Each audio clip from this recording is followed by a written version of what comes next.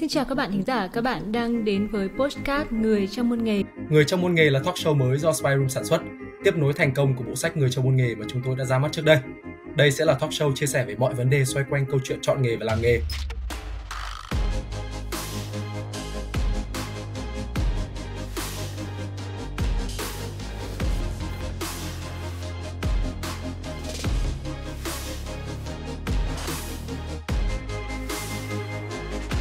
Xin chào các bạn và chào mừng các bạn đã quay trở lại với Spy Room. Hôm nay sẽ là một bài viết của anh Định Vũ. Bài viết có mang tên Venture Builder, có khác gì các hình thức đầu tư khác và khi nào thì bạn nên tìm tới họ. Và chúng ta hãy cùng bắt đầu nội dung của bài viết ngay thế nào.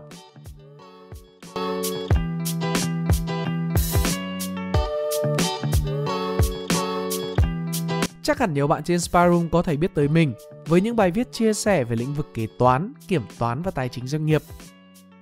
Thế nhưng có lẽ ít người biết rằng mình cũng may mắn được tham gia vào các quá trình phát triển của một số startup và đồng hành, hỗ trợ họ trong quá trình gọi vốn.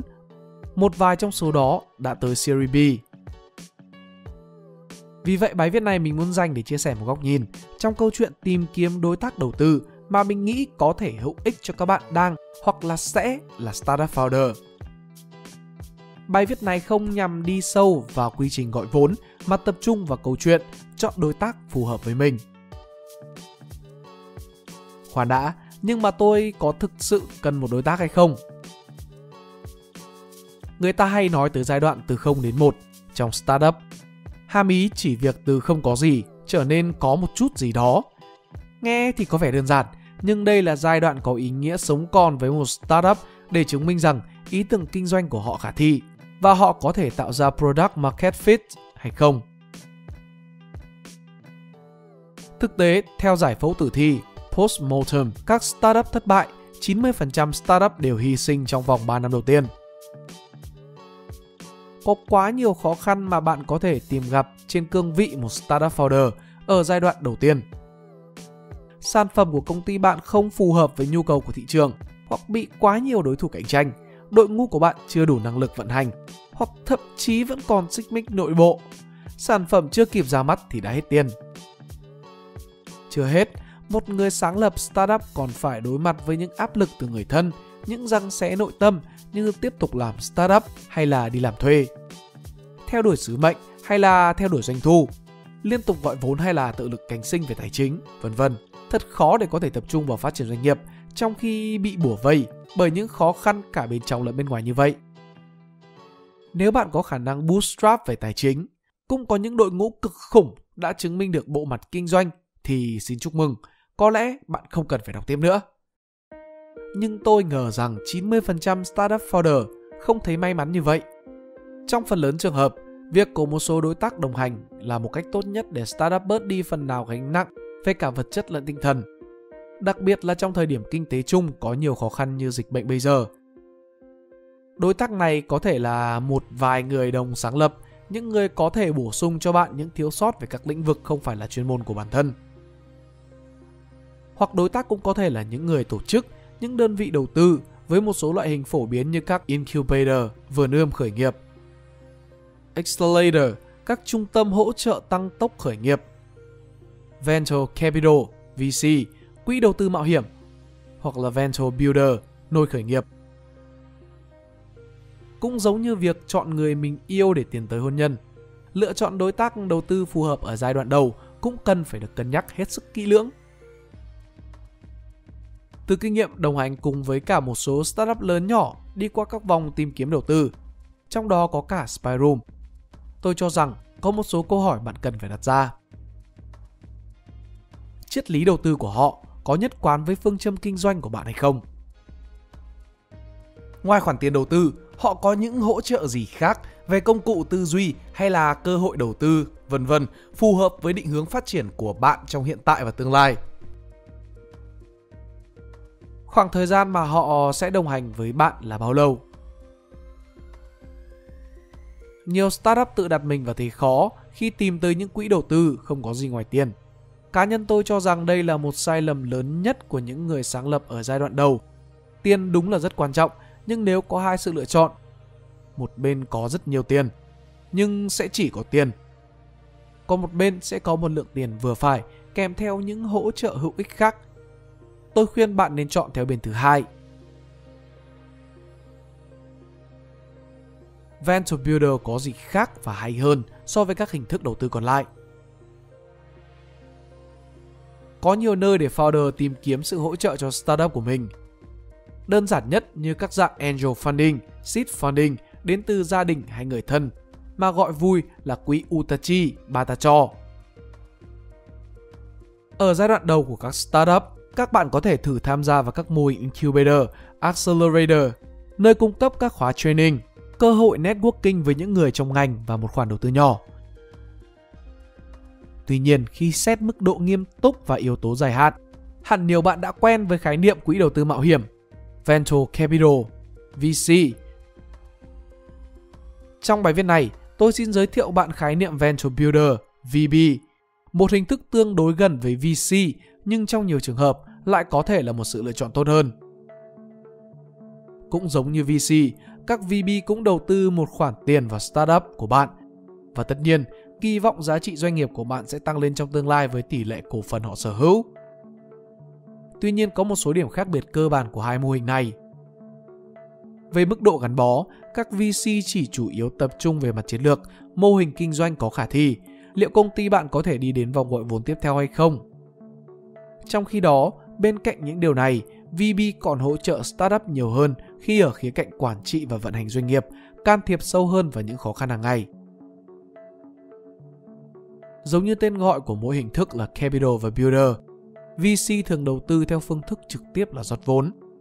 Trong khi VB bên cạnh tiền thì có thể đầu tư gián tiếp thông qua các nguồn lực khác như đội ngũ phát triển sản phẩm, marketing in-house của VB, quy trình vận hành, chỗ ngồi, kết nối với những startup khác trong cùng hệ sinh thái để hỗ trợ lẫn nhau. VC thường đòi hỏi bạn có traction hay không, minh chứng hiệu quả hoạt động bằng số liệu như là doanh thu, người dùng. Trong khi các VB đôi khi không quan tâm quá nhiều tới mô hình kinh doanh đã được kiểm chứng hay chưa. Danh mục đầu tư của VC gần như không có giới hạn, trong khi VB lại chỉ lựa chọn các startup thực sự phù hợp với triết lý của mình. Vì thường đầu tư vào các thời điểm rất sớm, thậm chí là từ giai đoạn ý tưởng. Vậy, các VB thường có xu hướng rót vào một lượng tiền nhỏ hơn và lượng cổ phần mong đợi lớn hơn so với các VC. Do rủi ro và những hỗ trợ ngoài tiền mà họ đưa ra thường lớn hơn trong giai đoạn sớm của startup. Chiến lược của VB đem tới hai lợi thế. Thứ nhất là có sự phối hợp nhịp nhàng giữa các khoản vốn đầu tư bằng cách chia sẻ kỹ năng, kiến thức, thậm chí là cả nguồn nhân lực. Và thứ hai là giúp đào tạo phát triển tài năng của các founder để tạo ra các giá trị thực sự. Đây là hai lợi thế đặc biệt hữu ích với các mô hình có chu kỳ kinh doanh dài hạn hoặc là hướng tới việc xây dựng một tầm nhìn bền vững. Như quan điểm tôi đã nêu ở trên, nếu startup của bạn đang ở giai đoạn đầu, không chỉ thiếu tiền mà còn cần được hỗ trợ toàn diện hơn về mặt tư vấn chiến lược, các hoạt động vận hành networking, thì có thể VB sẽ là đối tác đầu tư phù hợp hơn so với VC. VB không chạy những chương trình khởi nghiệp cạnh tranh kết thúc bằng một demo day. Một VB giữ mối quan hệ dài hạn và can thiệp sâu vào những startup mà nó xây dựng, cho đến khi chúng bước sang một giai đoạn mới. Hiện tại đang là thời kỳ vàng cho các venture builder và startup đồng hành, với hơn 100 VB trên toàn thế giới năm 2018. Trong đó một nửa là mới được thành lập sau năm 2013.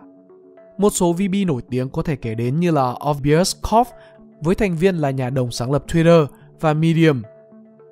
HVF Hot Vouchers Fund đầu tư vào Offirm.com và Glow.com. BetaWork có danh mục đầu tư bao gồm Instapaper và Blend và Rocket Internet của Đức đầu tư vào Paymail, Jumia, Foodpanda, Lazada, vân vân. Tại Việt Nam, khái niệm VB vẫn còn tương đối mới mẻ. Một trong số các VB có tâm nhất mới gia nhập thị trường Việt Nam mà tôi biết là Riabra. Bật mí, Riabra cũng là đơn vị từng đầu tư vào chính Spyroom ở vòng fan seeding, nơi các bạn đang đọc bài viết này. Priscilla Han, CIO của Riabra, từng trực tiếp sang văn phòng nhỏ xíu của Spyroom thời kỳ đầu để ăn cơm hộp và tư vấn chiến lược cho đội ngũ founder Spyroom. Trên con đường VB, Riabra cũng có quan điểm cho rằng một đối tác đầu tư không chỉ đơn giản là đổ tiền vào ao ao rồi nhanh chóng exit, mà phải đồng hành trong quá trình learn by doing của startup. Để nói thêm, tôi nghĩ rằng Viabra có một số điểm khác biệt khiến tôi có cảm tình. Đầu tiên là phải kể đến phương pháp tiếp cận Founder First, tập trung vào động lực nội tại của nhà sáng lập, trang bị cho anh ta những tư duy cần thiết để tự đứng vững trên đôi chân của mình, liên tục cập nhật tình hình của họ trong việc vận hành doanh nghiệp lẫn cuộc sống cá nhân. Bạn có thể liên hệ thêm Việt Anh để biết thêm tần suất dày đặc mà chàng founder của Spyroom Team đã trao đổi với Ria Bra hàng tuần. Thứ hai, Ria Bra có triết lý xây dựng doanh nghiệp bền vững. Khái niệm bền vững này có thể được hiểu là bạn không cần phải ám ảnh với việc chạy theo số để làm hài lòng nhà đầu tư như các VC. Bạn không quá lệ thuộc vào tăng trưởng và vốn đầu tư, đôi khi càng kêu gọi được nhiều vốn đồng nghĩa với việc càng nhiều tiền bị lãng phí đa dạng hóa các dòng doanh thu cho công ty, hướng tới mục tiêu trở thành market leader ở một thị trường nhất định. Đồng hành với startup trong khoảng thời gian tương đối dài hạn từ 10 đến 20 năm so với các quỹ đầu tư thông thường chỉ trong vòng dưới 5 năm. Với những đặc điểm như trên, rõ ràng Riabra sẽ không phù hợp với những startup theo phong cách gọi vốn liên tục hay có mô hình tăng trưởng như kiểu ăn sổi. Nhưng nếu bạn là một nhà sáng lập, có triết lý phát triển doanh nghiệp bền vững, muốn tạo ra sự ảnh hưởng tới xã hội thì có thể là một đối tác đầu tư đáng cân nhắc. Hiện Riapra đã phát triển các mô hình đầu tư này cho hơn 70 công ty tại châu Á. Từ năm 2018, họ đã khởi động chương trình The Build 80, dự án đầu tư cho các startup trong khu vực Đông Nam Á với phương pháp đào tạo được thiết kế riêng với từng công ty sao cho phù hợp với hoàn cảnh, tình huống kinh doanh cụ thể, hỗ trợ đúng lúc và đúng thời điểm. Bạn có thể tìm hiểu thêm thông tin về The Build 80 tại đây.